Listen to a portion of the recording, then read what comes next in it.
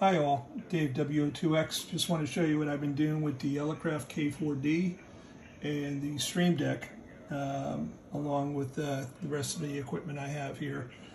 Um, what I've been doing is interfacing the K4D uh, to my Node-RED uh, server, and Node-RED runs on Raspberry Pi and gives you a dashboard here where I started building up the uh, K4D uh, showing frequency. Uh, you could go ahead and select uh, the mode.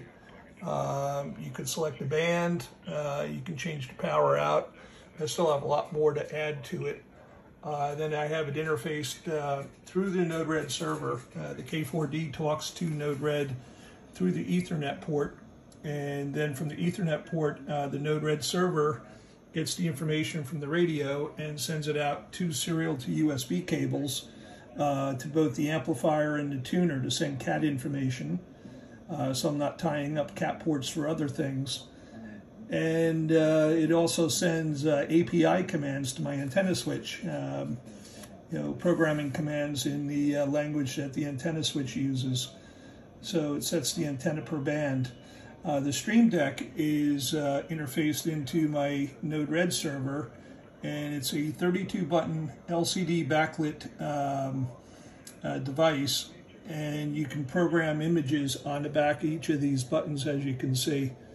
And what I've done with the K4D is I have a K4D button which brings up um, submenus. Uh, below it is a combination uh, frequency and also S meter uh, so I can see uh, just a quick glance of the frequency I'm on. And below that is a filter button. Uh, if you see I'm at 50 to 3500 right now at the filter bandwidth on receive. And um, I have other buttons here. Uh, my tuner, I can put the tuner between standby and operate. Uh, same thing with the amplifier, operate and standby. I can initiate a tune cycle on the tuner. Uh, the tuner right now is uh, connected to radio number one. Of It's an SO2R tuner. This button here uh, shows me my azimuth of the rotor currently where it's at. Um, sitting at 49 degrees, if I hit the uh, 160 Caribbean button, for example, you'll see it's going to go around uh, because my uh, rotor goes from 0 to 360 and then plus 90. So now it's got to go all the way around to uh, 160.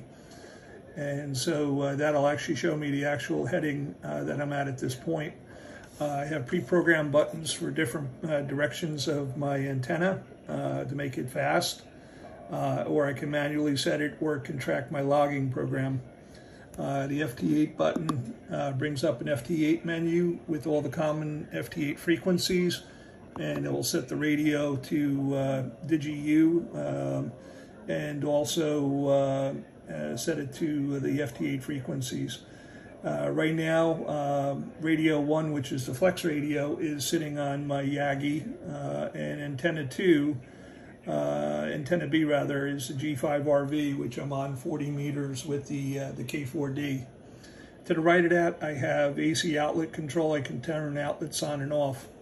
So getting to the K4D, um, when I hit the button, it brings up a sub menu. Again, I have my combination S meter and uh, frequency button and uh, kind of matches the uh, S meter here on the radio.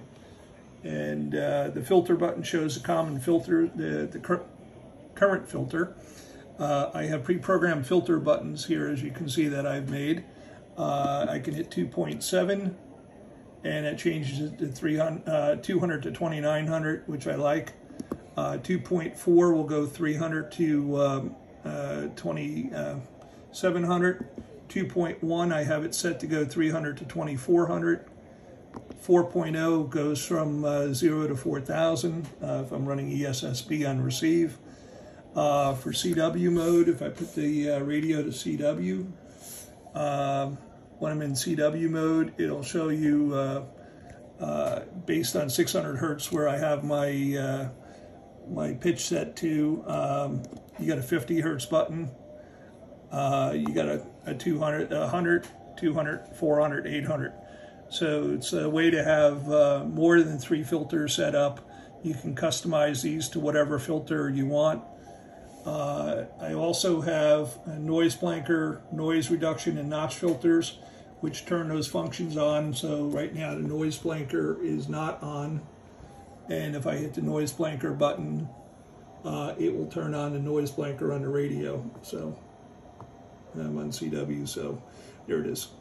Anyway, uh, same thing with the noise reduction. It'll turn the noise reduction on or off, or the automatic notch filter. I still have uh, a lot more buttons to add. Uh, these are all programmable, whatever you want. And you can make custom icons for the buttons itself. Uh, preamp off, preamp 1, 2, or 3. Uh, band in mode brings up another menu where I have all my bands set up uh, to access the bands quickly. And um, again, all the modes of the radio are set up. So this is a work in progress and it's just a quick way uh, this in the normal operating will be setting next to my mouse as I'm operating in a contest or something or chasing DX and just a quick easy way to uh, control all the equipment including the K4D and again um, the Node-RED server is talking to the K4 through the Ethernet port on the back of the radio.